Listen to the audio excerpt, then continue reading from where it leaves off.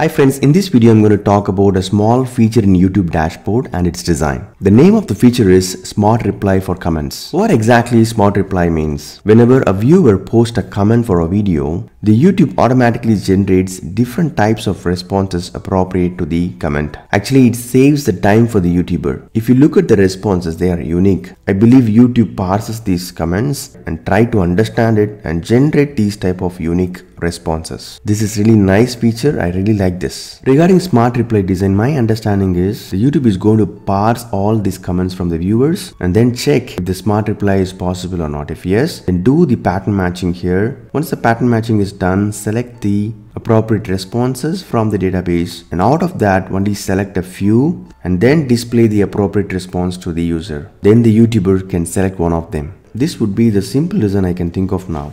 So what do I learn from this feature? Looks like the software development is moving towards artificial intelligence and wherever possible, we are trying to automate it. Hope this information is useful. Thank you.